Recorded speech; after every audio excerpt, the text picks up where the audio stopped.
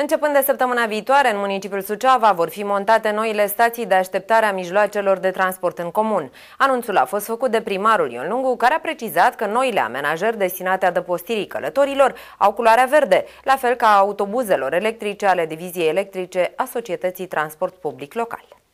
De săptămâna viitoare încep să fie montate stațiile pentru autobuze, așa cum am anunțat, toate stațiile de autobuz vin modernizate, Eh, sigur că am aici o imagine, dar nu e foarte clară, cum le montează cei de la Deva care au câștigat licitația. Ele sunt eh, verde, în culoarea verde, pentru că suntem eh, oraș verde și eu zic că o să fie arătoase și din material, mă rog, solid.